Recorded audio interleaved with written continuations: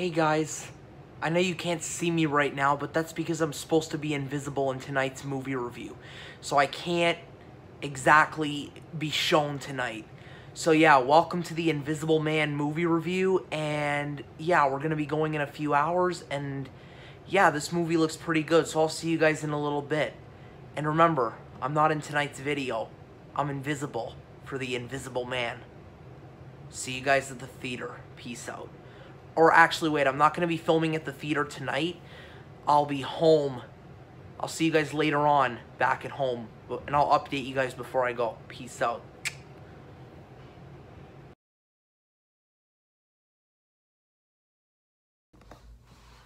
Alright, hey guys, I'm still invisible.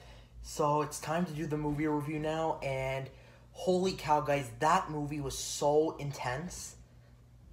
Like, honestly, the whole movie you're you'll be shaking if you guys go see this movie. Like it is like be prepared, guys. The last 20 minutes of the movie there's a twist at the end that you guys do not even see coming. I'm not going to spoil it because I know that defeats the purpose of a review, and I, I can't tell you guys basically anything about the movie without giving it away. But let me just give you guys for the record that there's a twist at the end of that movie that you guys never saw coming.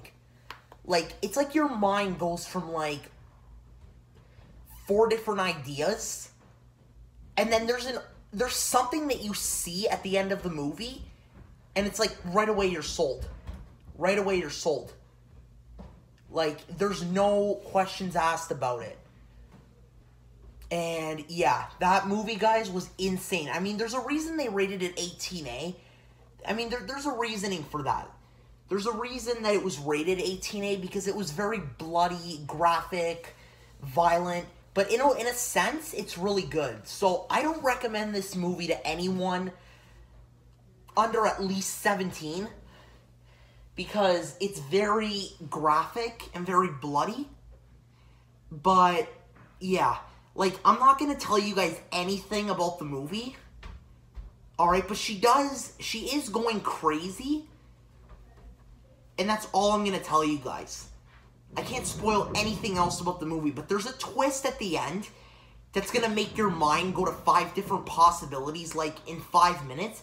And then there's something you see at the end of the movie, and it's like automatically you're sold. You know what's going on. And at the end, guys, I'm telling you, I was pretty much in shock to find that that was going on. Like, it's really creepy, honestly. Like, no joke, guys, it is actually really creepy and good at the same time. And Elisabeth Moss, guys, is, like, amazing for that character. Like, no joke, she is amazing. So, yes, 10 out of 10 review. Go see The Invisible Man. But just remember, your mind is going to be in, like, three different places of the movie. You're gonna, your mind's to be, like, in five different places in the last 20 minutes. But there's an uh, there's something you see in like the last 5 minutes and all of a sudden you're sold. Everything about the movie is sold. Like it's it's amazing the way it's done. And I was like, "Damn, I knew that's what was going on." So I think you guys will really like it. So, yeah. I think you guys should go see this movie. So, yeah, peace out.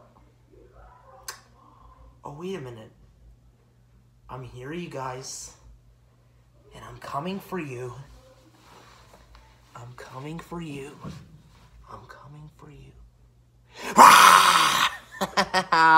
here I am.